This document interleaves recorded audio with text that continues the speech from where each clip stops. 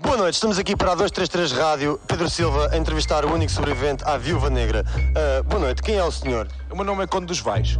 Conde dos Vais, uh, diga-me, onde é que conheceu a Viúva Negra? Eu conhecia no Noite Viva, conheci também por NB. Uh, Conheceu-a no NB e o que é que lhe despertou o interesse na Viúva Negra? Bem, essa senhora era incrivelmente provocadora. Ela tinha uma agilidade nos seus movimentos, tinha. Ela chegava até a ser, como é que eu ia dizer, hipnotizante. Tinha, Era assim, era assim oculta? Era oculta, tinha a sua magia negra, tinha. Tinha misticismo, portanto. Um, qual é que acha que foi o ponto de interesse que ela teve em si? Claramente o meu dinheiro e a minha doença, sem A dúvida. sua doença, fala-me um pouco sobre a sua doença. Qual é a sua doença? De que é que padece? Eh, Eu tenho cancro na próstata e se tiver seis meses de vida será o muito. E creio que ela quis aproveitar-se disso, obviamente. Acha que ela tinha noção da sua condição médica? Claro que sim, sem dúvida. Um, pronto, e o senhor esteve perto a ser vítima de viúva negrismo e como é que se conseguiu safar?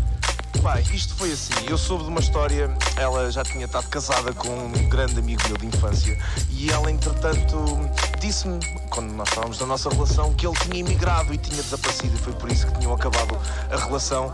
E vim a saber mais tarde, através vi na, na internet, uma história de uma pessoa tinha desaparecido e não sei o quê.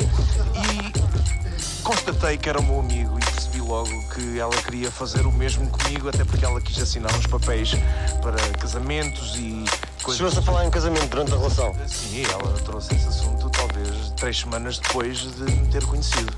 Certo, um, nessa situação o senhor sentiu-se obrigado a cometer este crime?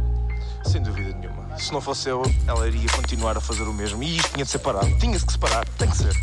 Uh, acha, portanto, que fez uma ação de serviço público?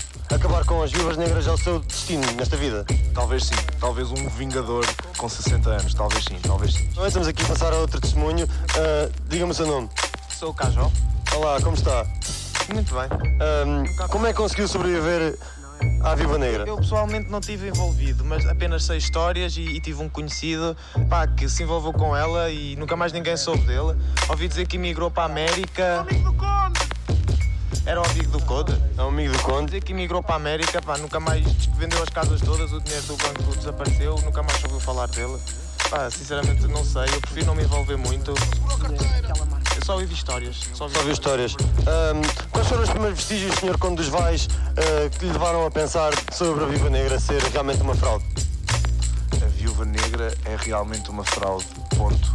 Vejam, investiguem, já que eu vou ser condenado. Obrigado, boa noite, não falo mais. Uh, ninguém apoiou e ninguém me perguntou realmente, mas eu estou a fazer o meu trabalho de perguntar. Uh, o senhor conseguiu registrar alguma situação da Viúva Negra? Olha, boa noite. É, a única situação que eu consegui registrar é que ela era mesmo uma viúva muito negra e, resumindo e concluindo, não tinha ponta para onde.